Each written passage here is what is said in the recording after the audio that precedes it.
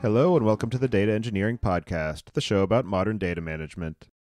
When you're ready to build your next pipeline or want to test out the projects you hear about on the show, you'll need somewhere to deploy it, so check out our friends over at Linode. With 200 gigabit private networking, scalable shared block storage, and a 40 gigabit public network, you've got everything you need to run a fast, reliable, and bulletproof data platform. If you need global distribution, they've got that covered too, with worldwide data centers, including new ones in Toronto and Mumbai. And for your machine learning workloads, they just announced dedicated CPU instances. Go to dataengineeringpodcast.com slash Linode, that's L-I-N-O-D-E today to get a $20 credit and launch a new server in under a minute. And don't forget to thank them for their continued support of this show. And you listen to this show to learn and stay up to date with what's happening in databases, streaming platforms, big data, and everything else you need to know about modern data management. For even more opportunities to meet, listen, and learn from your peers, you don't want to miss out on this year's conference season. We have partnered with organizations such as O'Reilly Media, Dataversity, Corinium Global Intelligence, and Data Council. Upcoming events include the O'Reilly AI Conference, the Strata Data Conference, the combined events of the Data Architecture Summit and Graph Forum, and Data Council in Barcelona. Go to dataengineeringpodcast.com slash conferences to learn more about these and other events and take advantage of our partner discounts to save money when you register today. Your host is Tobias Macey, and today I'm interviewing Ben Johnson and Luke Steensen about Vector, a high performance, open source observability data router. So, Ben, can you start by introducing yourself? Sure. My name is Ben. I am the co founder, CTO at Timber.io. And Luke, how about yourself? Uh, yeah, I'm Luke Steensen. I'm an engineer at Timber. And Ben, going back to you, do you remember how you first got involved in the area of data management? Yeah, so I mean, just being an engineer, obviously, you get involved in it through observing your systems. And so before we started Timber, I was an engineer at SeatGeek. We dealt with all kinds of observability challenges there.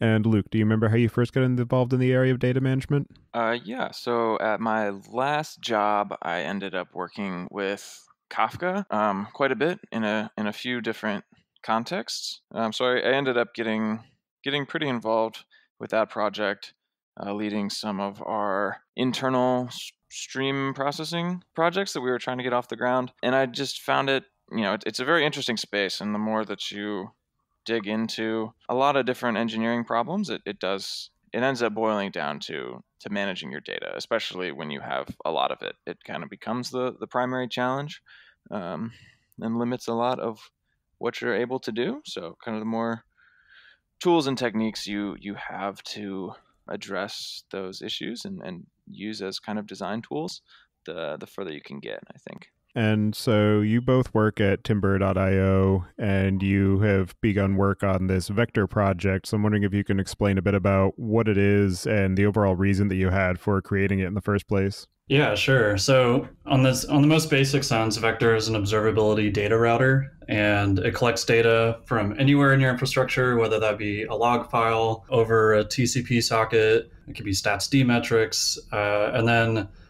Vector is designed to ingest that data and then send it to multiple storages. And so the idea is that it is sort of vendor agnostic and collects data from many sources and sends it to many sinks. And the reason we created it was really for a number of reasons. I would say um, one, you know, being an observability company, uh, and then when we initially launched Timber, uh, it was a hosted logging platform, and we needed a way to collect our customers' data. We tried writing our own uh, initially in Go that was very just kind of specific to our platform. Uh, that was that was very difficult. Um, we started using uh, off-the-shelf solutions and found those also to be difficult. We were getting a lot of support requests. It was hard for us to contribute and debug them. And then I think in general, you know, our, our ethos as a company is we want to create a world where developers have choice and aren't locked into specific technologies, are able to move with the times, choose best in class tools for the job, and that's kind of what prompted us to start Vectors. That vision, I think, is enabled by an open collector that is vendor agnostic and meets a quality standard uh, that uh, makes people want to use it. And so uh, it looks like we have other areas in this uh, podcast where we'll get into some of the details there. But we really wanted to raise the bar on the open collectors and start to give control and ownership back to the people, the developers that were deploying Vector. And as you mentioned, there are a number of other off the shelf solutions that are available. Personally, I've had a lot of experience with FluentD, and I know that there are other systems coming from the Elastic Stack and other areas. I'm curious, what are some of the tools that you consider to be comparable or operating in the same space? And any of the ones that you've had experience with that you found to be lacking and what were the particular areas that you felt needed to be addressed that weren't being handled by those other solutions? Yeah i think that's a really good question. So first i would probably classify the collectors as either open or not. And so typically i would we're not too concerned with vendor specific collectors like the splunk forwarder or any other sort of you know uh, thing that just ships data to one service so I'd say that, you know, in the category of just comparing tools, I'll focus on the ones that are open, like you said, FluentD, FileBeat, Logstash. Like, I think it's questionable that they're completely open, but I think we're more comparable to those tools. And then I'd also say that, like, we're, we typically try to stay away from, like, I don't want to say anything negative about the projects because I, I, a lot of them were uh, pieces of inspiration for us and so, you know, we respect the fact that they are open and they were solving a problem at the time. But I'd say one of the projects that that really uh, we thought was a great alternative and inspired us is one called Cernan.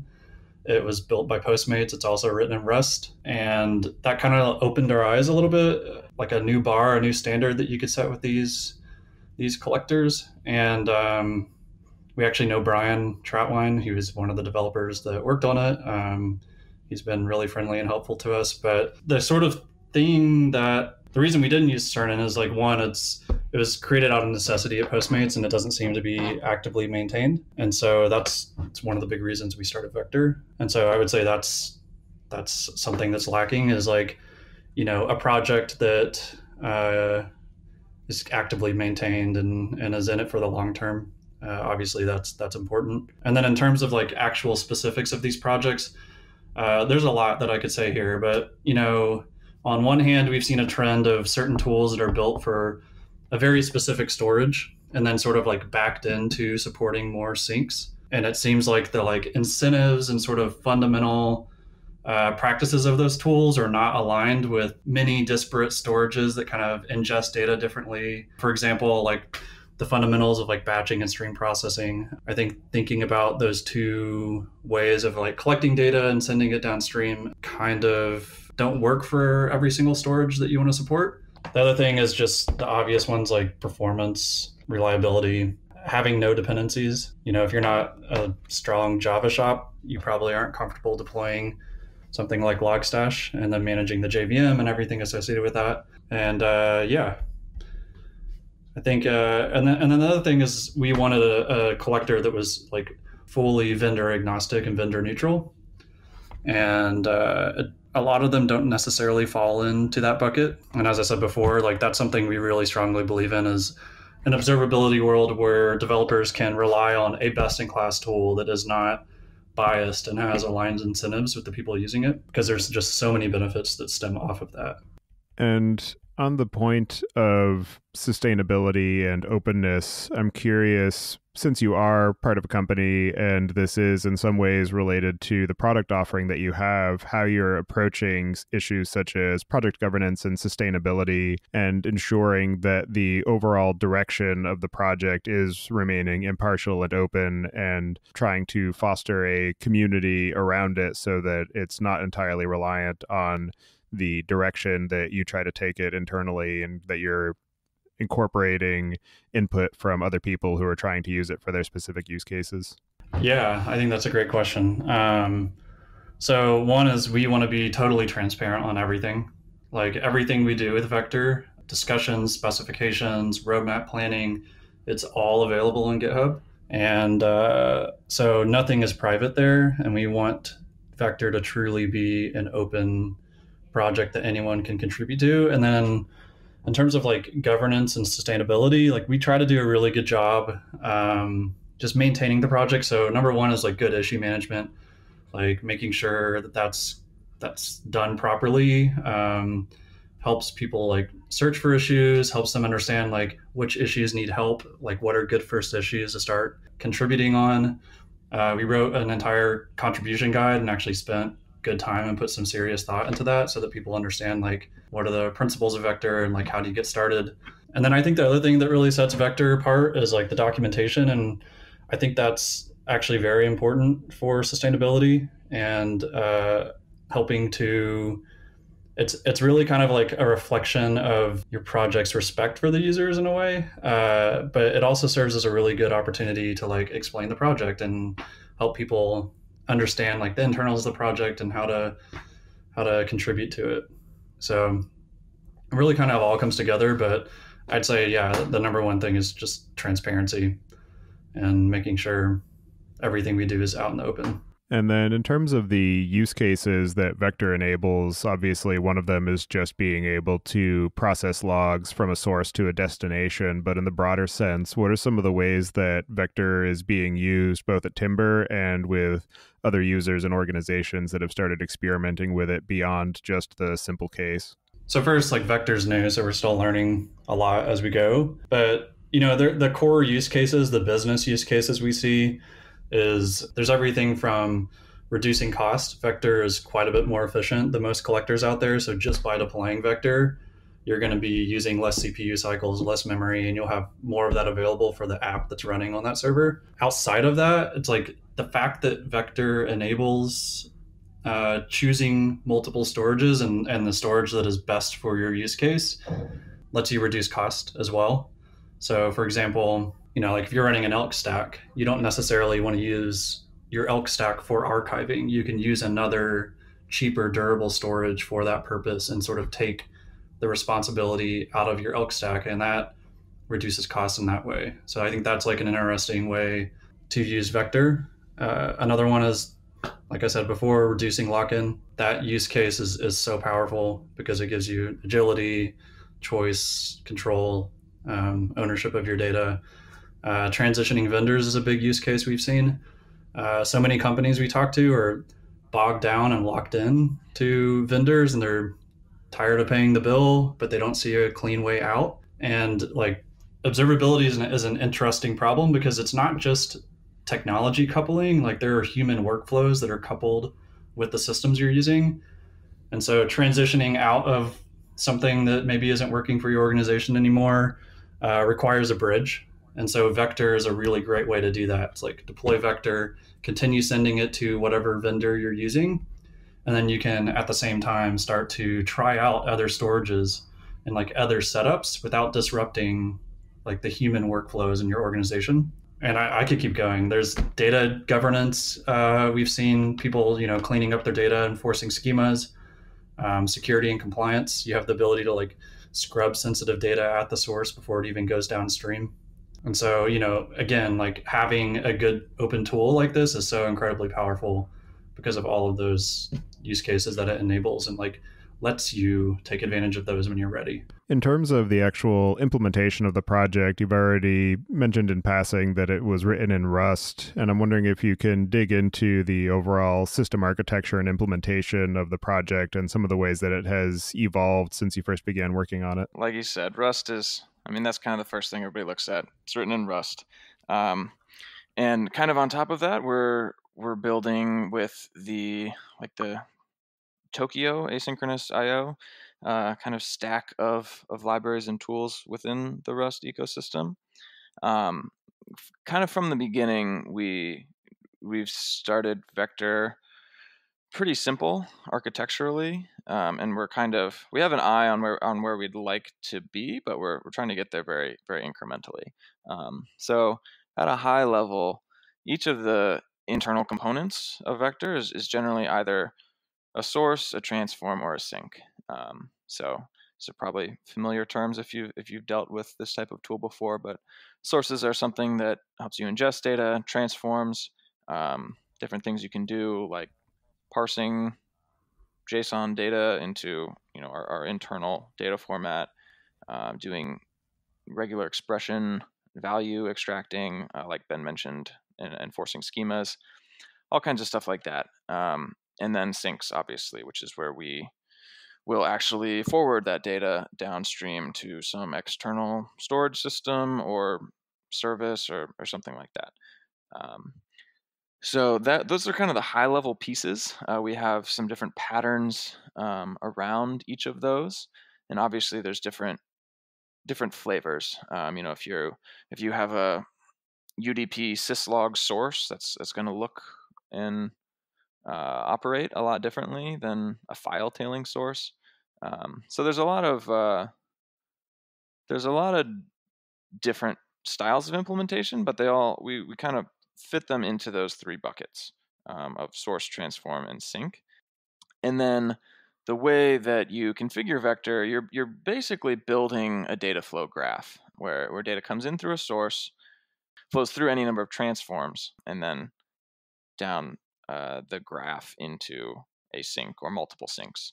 Um, we try to keep it uh, as flexible as possible, um, so you can you can pretty much build like an arbitrary graph um, of, of data flow.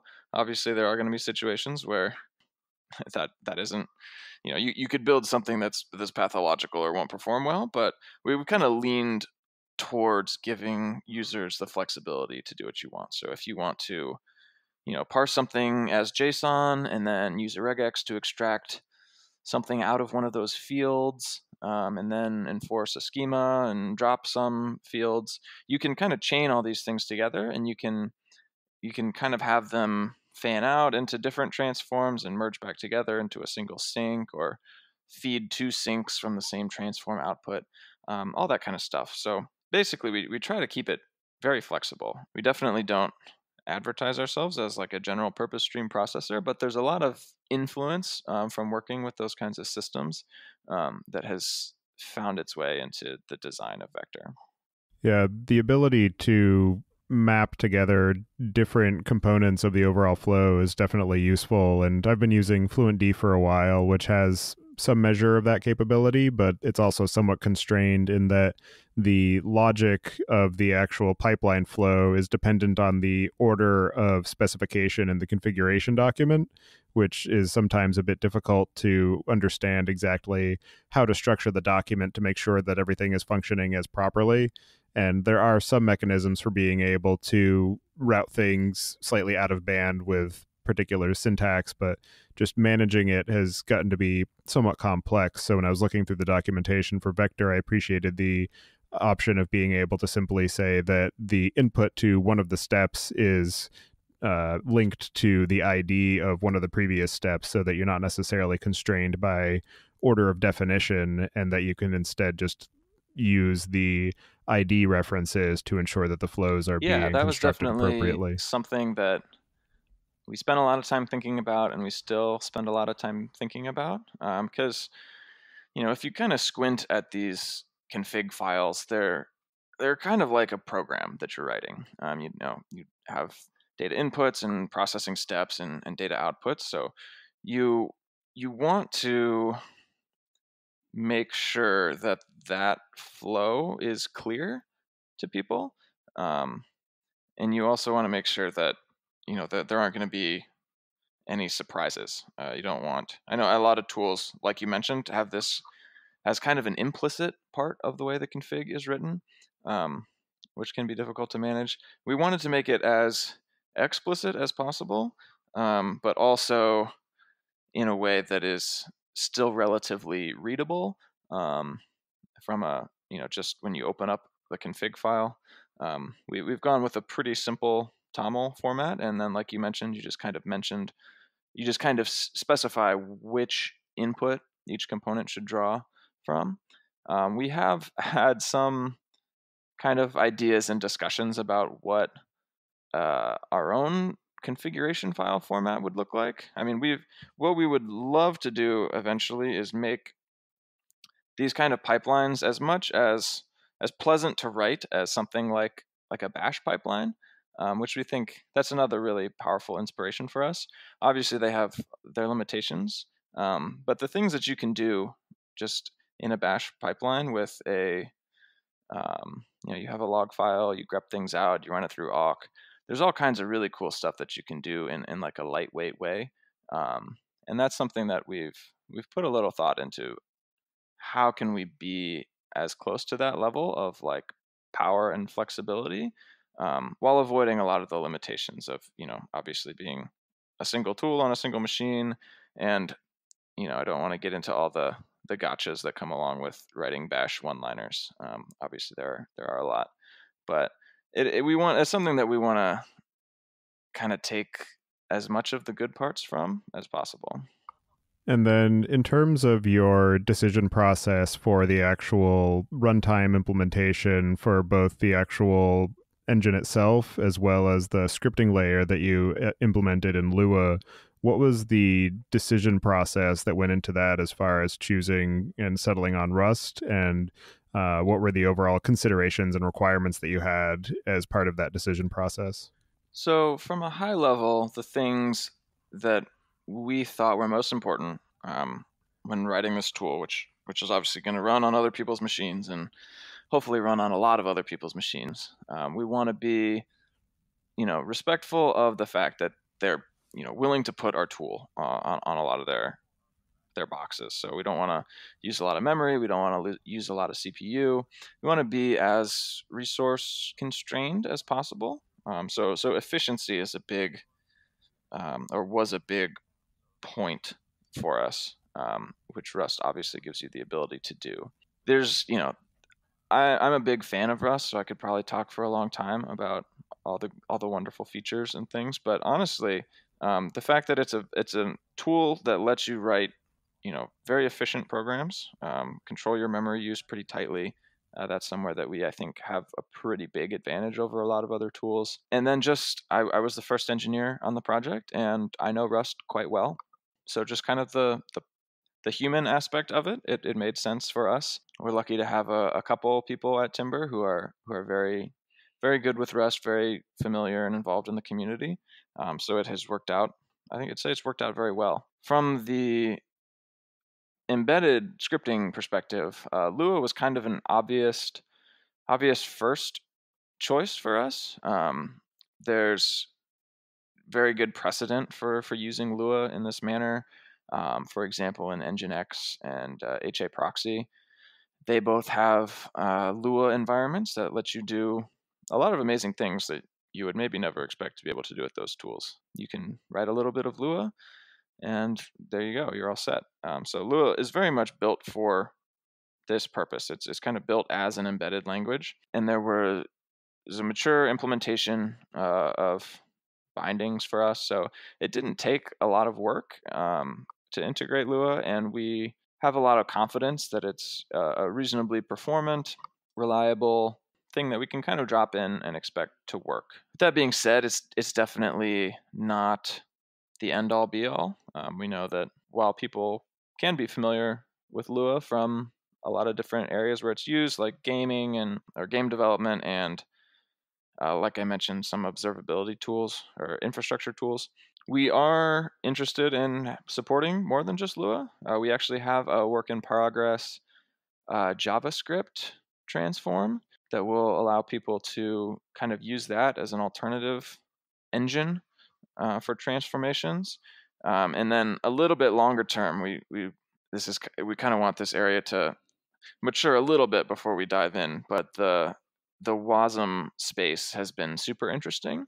And I think that, particularly from a flexibility and performance perspective, could give us a platform to do some really interesting things in the future. Yeah, I definitely think that the WebAssembly area is an interesting space to keep an eye on because of the fact that it is in some ways being targeted as sort of a universal runtime that multiple different languages can target. And then, in terms of your choice of Rust, another benefit that it has when you're discussing the uh, memory efficiency is the guaranteed memory safety, which is certainly important when you're running it in customer environments because that way you're less likely to have memory leaks or accidentally crash their servers because of a bug in your implementation. So I definitely think that that's a, a good choice as well. And then one other aspect of the choice of Rust for the implementation language that I'm curious about is how that has impacted the overall uptake of users who are looking to contribute to the project, either because they're interested in learning Rust, but also in terms of people who aren't necessarily familiar with Rust and any barriers that that may pose. it's something that's kind of hard. It, it's hard to know because obviously we can't we didn't can't inspect the alternate timeline where we we wrote it in Go or something like that. I would say that there's kind of there's there's ups and downs from a lot of different perspectives. From like a from a developer interest perspective, uh, I think Rust is is something that a lot of people find interesting now. The the the sales pitch is a good one, and, and a lot of people find it compelling. Um, so I think it's definitely, you know, it's, it's caught a few more people's interest because it happens to be written in Rust. Um, we we try not to push on that too hard because, of course, there's there's the other set of people who who do not like Rust and are very tired of hearing about it. So um, you know, we, we love it and we're very happy with it, but we try not to make it, um, you know, a, a, primary marketing point or anything like that. Um, but I, I, I, think it, it does it does help uh, to some degree. And then from a contributions perspective, again, it's hard to say for sure, but I do know from experience that we have had, you know, a handful of people kind of pop up from the open source community and, and give us some some really high quality contributions, and we've been really happy with that. Like I said, we, we can't really know how that would compare to uh, if we had written it in a language that more people are proficient in. But the contributions from the community that we have seen so far um, have been, like I said, really high quality, and, and, we're really happy with it. the The JavaScript transform that I mentioned is is actually something that's a good example of that. We had a contributor come in and, and do a ton of really great work to to make that a reality, and it, it's something that we're pretty close to being able to merge and, and ship. So that's something that I, I, definitely shared a little bit of that concern. I was like, I know Rust at least has the reputation of being a more difficult to learn language, but the the community is there. There's a lot of really skilled developers that are interested in Rust and you know would love to have an open source project like Vector that they can contribute to.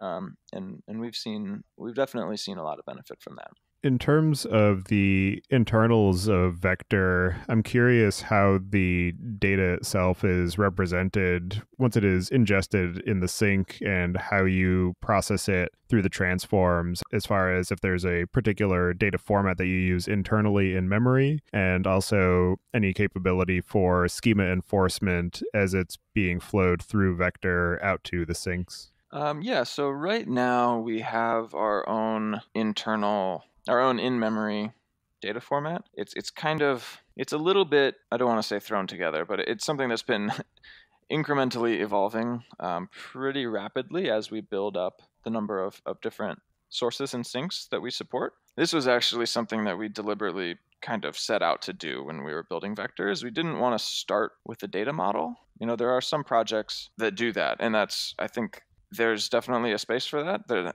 the data modeling in the observability space is uh, is not always the best, um, but we explicitly kind of wanted to leave that to other people, and we were going to start with the simplest possible thing, and then kind of add features up as we found that we we needed them in order to better support uh, the data models of the the downstream sinks and the transforms that we wanted to be able to do. So from from day one, the the data model was basically just string. You know, you send us a log message and we represent it as a as a string of characters. Obviously, it's grown a lot since then, but we we basically now support. We call them events internally. It's kind of our our vague name for everything that flows through the system. Uh, events can be a log or they can be a metric. If they're a metric, we, we support a number of different types, including counters, gauges, um, kind of all your standard types of metrics from like the, the statsd family of tools. And then logs, uh, they can be just a message. Um, like I said, just a string. We still support that as much as we ever have. Um, but we also support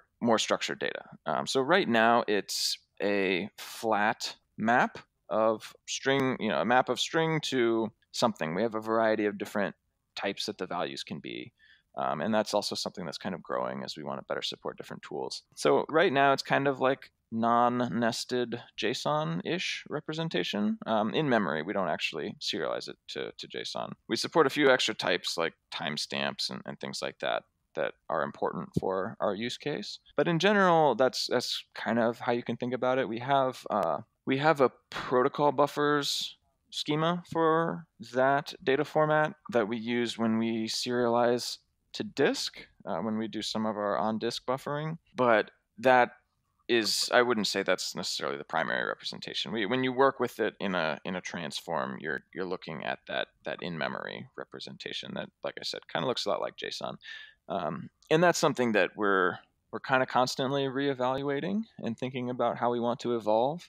Um, I think kind of the next the next step in that evolution is to make it not necessarily just a flattened map and move it towards uh, supporting like nested maps, nested keys. Uh, so it, it's going to move more towards like an actual, uh, you know, full JSON with better types and support for things like that. And on the reliability front, you mentioned briefly the idea of disk buffering, and that's definitely something that is necessary for the case where you need to restart the service and you don't want to lose messages that have been sent to an aggregator node, for instance. I'm curious, what are some of the overall capabilities in Vector that uh, support this reliability objective? And also in terms of things such as malformed messages if you're trying to enforce a schema if there's any way of putting those into a dead letter queue for reprocessing or anything along those lines. Um, yeah dead letter queue specifically isn't something that we support at the moment. Um, that's it is something that we've been thinking about, um, and, and, we do want to come up with a, a, good way to support that. But currently, that isn't something that we have. A lot of transforms, like the the schema enforcement transform, uh, will end up just just dropping the events that don't, or it will if it can't enforce that they do meet the schema by dropping fields, for example, it will it will just drop the event. Which you know we're we recognize the the shortcomings there. Um, I think one of the one of the things that is a little bit nice from an implementer's perspective about working in the observability space as opposed to uh, you know the, the normal data streaming world with application data uh, is that people can be a little bit more there's more of an, an expectation of best effort, um, which is something that we're willing to take advantage of a little bit in like the very beginning, early stages of a certain feature or tool. Um, but it, but it's definitely a part of the a part of the ecosystem that we want to to push forward. So it's that's something that we we try to keep in mind as we build all this stuff is yes, it might be okay now. We may have parity with other tools, for example, if we just drop messages that don't meet a certain schema. But you know, how can we how can we do better than that? Other tools that or other kind of things in the toolbox that you can reach for for this type of thing are I mean, the most basic one would be that you can send data to multiple sinks. Uh, so if you have a, a kind of classic syslog like setup where you're you're forwarding logs around, it's, it's super, super simple to just add a secondary that will forward to both syslog aggregator A and syslog aggregator B. That's that's that's nothing particularly groundbreaking, but it's something that is kind of the start. Beyond that, I mentioned the the disk buffer, where we want to make do as good a job as we can ensuring that we don't lose your data uh, once you have sent it to us. Uh, we are we are still a, a single node tool at this point. We're, we're not a distributed storage system, so there are going to be some inherent limitations in in the guarantees that we can provide you there. We do recommend, you know, if you if you really want to make sure that you're not losing any data at all, uh, Vector is going to it's not going to be able to give you the guarantees that something like Kafka would. So we, we want to make sure that we work well with tools like Kafka um, that are going to give you pretty solid you know, redundant, reliable, distributed storage guarantees. Um, let's see. Other than those two, we writing the tool in Rust is you know kind of an indirect way that we want to try to make it just as reliable as possible. I think Rust has a little bit of a reputation for making it tricky to do things. You know that the compiler is very picky and wants to make sure that everything you're doing is safe, um, and that's something that you can you definitely take advantage of to kind of guide you in in writing you mentioned like memory safe code but it, it, it ex, kind of expands beyond that into sh- ensuring that every error that pops up you're gonna ha- you're handling explicitly um, at that le- level or a level above um, and things like that it kind of guides you into writing more reliable code by default obviously it's still on you to make sure that you're covering all the cases and, and things like that, but it, it definitely helps. Um, and then moving forward, we're we're going to spend a lot of time in, in the very near future setting up certain kind of internal torture environments, if you will, um, where we can run vector for long periods of time and kind of induce certain failures in the network and you know the upstream services maybe delete some data from underneath it on disk and that kind of thing um, kind of familiar if you're familiar with the the jepsen suite of database testing tools obviously we don't have quite the same types of invariants that a, an actual database would have uh, but I think we, we can use a lot of those techniques to kind of stress vector and see how it responds. And like I said, we're going to be limited in, in what we can do based off of the fact that we're a single node system. And, you know, if you're sending us data over UDP, there's not a ton of guarantees that we're going to be able to give you. But to the degree that we're able to give guarantees, we very much would like to do that. So that's that's definitely it's a focus of ours, and we're going to be exploring that as much as possible. And then, in terms of the deployment topologies that are available, you mentioned one situation where you're forwarding to a Kafka topic, uh, but I'm curious what other options there are for ensuring high availability and just the overall uptime of the system for being able to deliver messages or events or data from the source to the de- various destinations? Uh, yeah, there are a few different kind of general topology patterns that we you know we, we've documented and and we we recommend to people um, i mean the simplest one depending on how your infrastructure is set up can just be to run vector on each of your you know application servers or, or whatever it is that you have um, and kind of run them there in a very distributed manner and and forward to you know if you are sending it to a certain upstream logging service or or something like that. You can kind of do that where it's you don't necessarily have any aggregation happening in your infrastructure um, that's pretty easy to get started with, but it, it does have limitations.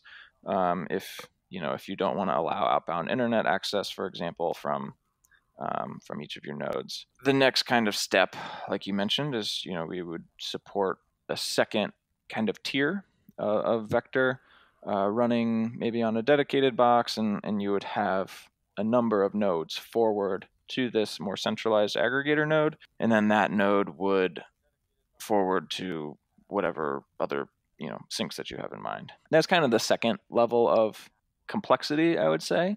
Um, you you do get some benefits in that you have some more power to do things like aggregations and sampling in a centralized manner. Um, there's going to be certain things that you, you can't necessarily do if you never bring the data together. Um, and you can do that, especially if you're looking to reduce cost it's nice to be able to have that that aggregator node kind of as a as a leverage point where you can bring everything together, evaluate what is you know most important for you to forward to different places, um, and and do that there. Um, and then kind of the for people who want more reliability than a you know a single aggregation node at this point, our recommendation is something like Kafka um, that that's going to give you distributed durable storage we that that is a big jump in in terms of infrastructure complexity. Um, so there's definitely room for some in betweens there that we're working on in terms of you know having a failover option. Uh, like right now, you could put a couple aggregator nodes behind a TCP load balancer or something like that. That's not necessarily going to be the best experience. So we're kind of investigating our options there to try to give people a good range of choices for you know how much they're willing to invest in the infrastructure and what kind of reliability and, and robustness benefits that they that they need Another aspect of the operational characteristics of the system are being able to have visibility into, particularly at the aggregator level, what the current status is of the buffering or any errors that are cropping up and just the overall system capacity. And I'm curious if there's any current capability for that or what the future plans are along those lines. Um, yeah, we have some, we have a setup for, for kind of our own internal metrics at this point. That that is another thing that we're kind of alongside uh, the reliability s- stuff that you mentioned that, that we're really looking at very closely right now and, and what, what we want to do next. Uh, we, we've kind of, the way we've set ourselves up, we have um, kind of an event based system internally where it can be emitted normally as log events, but we also have the means to essentially send them through something like like a vector pipeline where we can do aggregations um, and kind of filter and sample uh, and do that kind of stuff to get better insight into to what's happening in the process. So we haven't gotten as far as I'd like down that road um, at this point, but I think we have a pretty solid foundation to do some some interesting things, um, and and it's going to be definitely a, a point of focus in the next you know few weeks. So, in terms of the overall roadmap, you've got a fairly detailed set of features and capabilities that you're looking to implement. And I'm wondering what your decision process was in terms of the priority ordering of those features and how you identified what the necessary set was for a 1.0 release. So initially, when we planned out the project, you know, our our roadmap was largely influenced by our past experiences you know, uh, not only supporting Timber customers, but running our own observability tools. Um, and just based on the previous questions you asked, um, it was obvious to us that we would need to support those different type of deployment models. And so a lot of um, so part of the roadmap was dictated by that. So you can see like um, later in the roadmap, we want to support stream processors, um, so we can enable that sort of deployment topology. Um, and um, yeah, it was kind of it's it's very much evolving though as we learn and kind of collect data from customers and their use cases. Uh, we're actually are going to make some changes to it, um, but and in terms of a 1.0 release, like everything that you see in the roadmap on GitHub, which are represented as milestones, we think that sort of represents like a 1.0 release for us represents um, something a, a reasonably sized company could deploy and rely on Vector.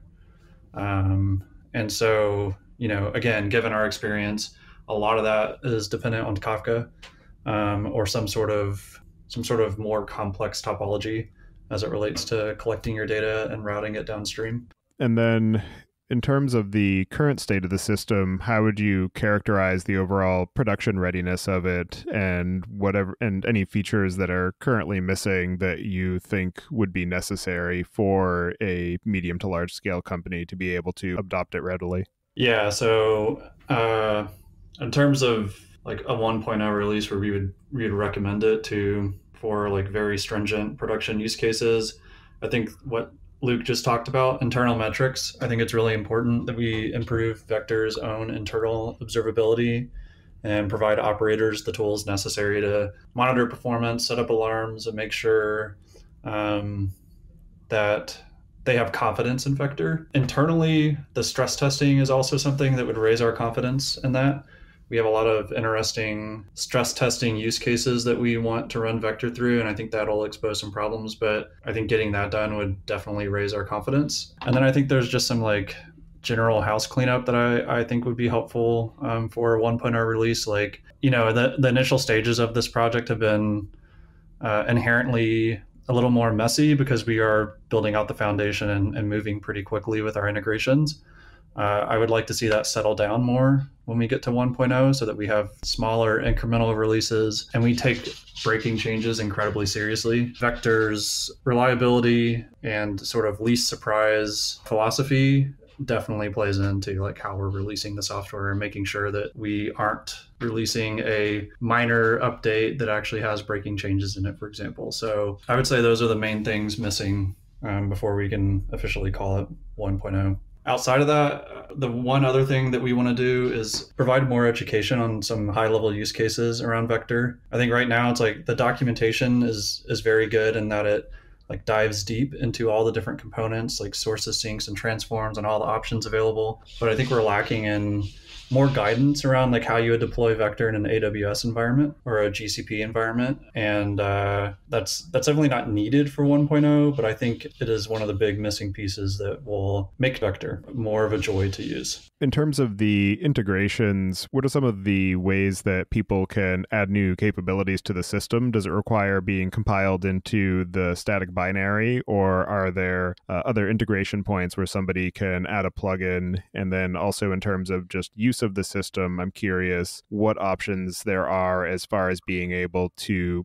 test out a configuration to make sure that the end to end flow is what you're expecting. So, in terms of plugins basically. That's there we don't have a strong concept of that right now. Um, all of the transforms that i've mentioned sources and sinks are all written in rust and, and kind of natively compiled into the system. That has a lot of benefits obviously in terms of performance and, and we get to make sure that everything fits in perfectly ahead of time. Um, but obviously it's it's not quite as extensible as we'd like at that point. So there there are a number of strategies that we've we've thought about for allowing um, kind of more user provided plugins. Um, I know I know that's a big feature of uh, FluentD that people get a lot of use out of. So it is something that we'd like to support, but we want to be careful how we do it because you know, we don't want to give up our core strengths necessarily, which I'd say, you know, the kind of the, the performance and, and robustness, reliability of the system. We want to be careful how we expose those extension points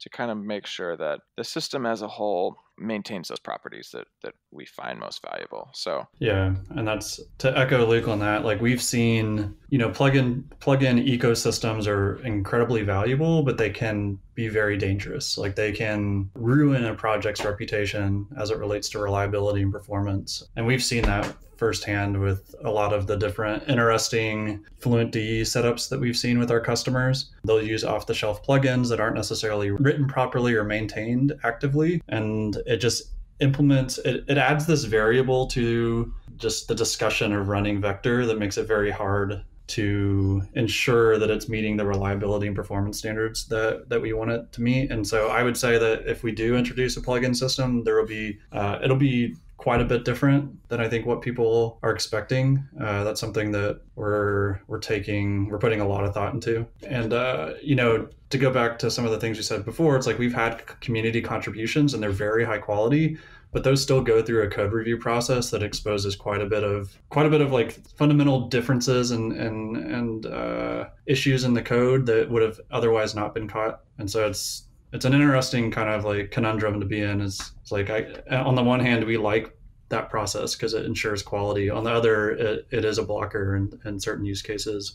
Yeah, I think our, our strategy there so far has basically been to allow programmability in limited places. For example, the Lua transform and the, the kind of upcoming JavaScript transform. There is uh, kind of a surprising amount that you can do even when you're limited to that to that context of a, of a single transformation. We are interested in kind of extending that to say, you know, is it would it make sense to have a a sink or a source that you could write a lot of the logic in in something like Lua or JavaScript or you know a language compiled to WebAssembly, and then we provide almost like a standard library of you know IO functions and things like that that would we would have more control over and and could do a little bit more to ensure like Ben said, the the performance and reliability um, of the system. And then kind of the final thing is we we really want Vector to be as as easy to contribute to as possible. Uh, ben mentioned some you know housekeeping things that we want to want to do before we really consider it 1.0, and I think a lot of that is around um, extracting common patterns for things like sources, sinks, and transforms into kind of our, our internal library so that if you want to come in and contribute support to Vector for a new downstream database or, or metrics service or something like that. We want that process to be as simple as possible, and we want you to kind of be guided into the right path in terms of you know handling your errors and doing retries by default and and all all of that stuff we want it to be right there and and very easy so that we can minimize there's always going to be a barrier if you say you have to write a pull request to to get support for something as opposed to to just writing a plugin but we want to minimize that as much as we possibly can And there are a whole bunch of other aspects of this project that we haven't touched on yet that I have gone through in the documentation that I think is interesting. But I'm wondering if there is anything in particular that either of you would like to discuss further before we start to close out the show.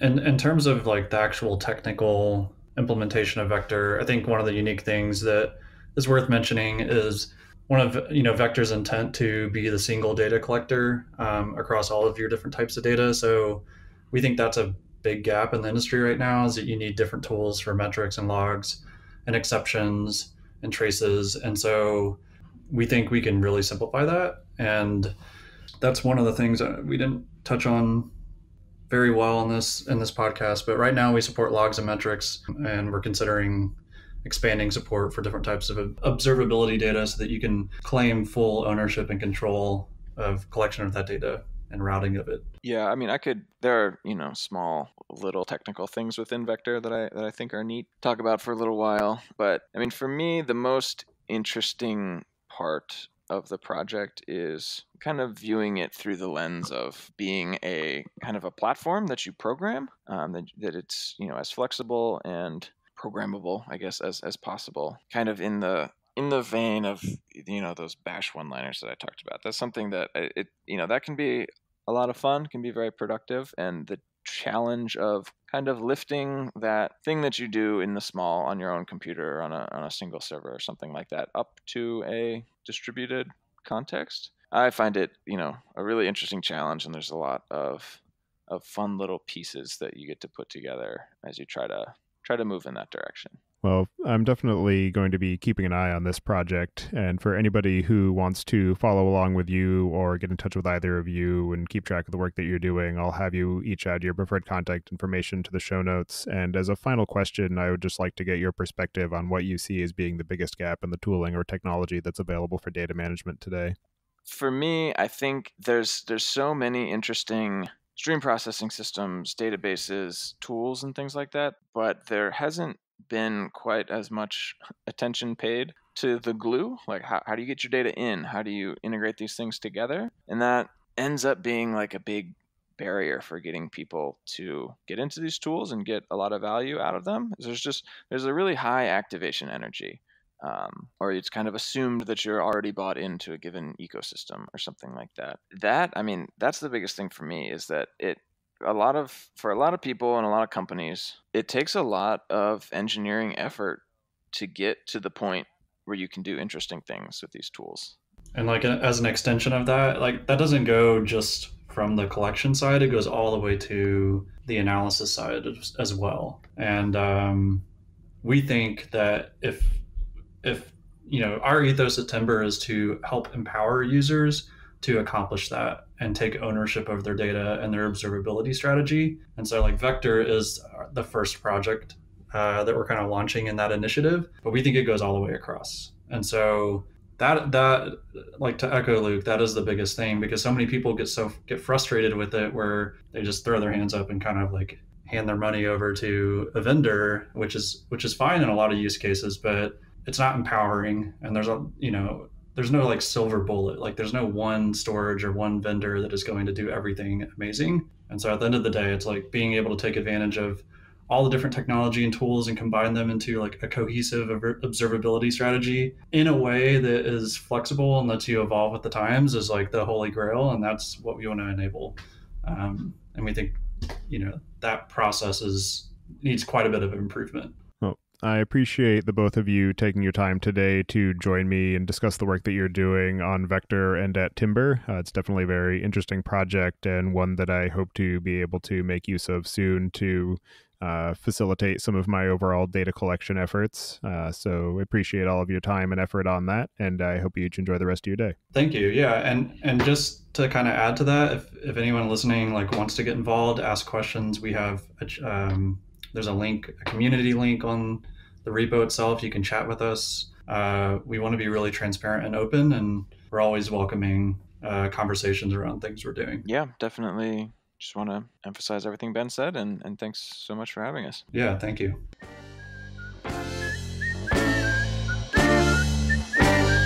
Thank you for listening. Don't forget to check out our other show, podcast.init, at pythonpodcast.com to learn about the Python language, its community, and the innovative ways it is being used. And visit the site at dataengineeringpodcast.com to subscribe to the show, sign up for the mailing list, and read the show notes. If you've learned something or tried out a project from the show, then tell us about it. Email hosts at dataengineeringpodcast.com with your story. And to help other people find the show, please leave a review on iTunes and tell your friends and coworkers.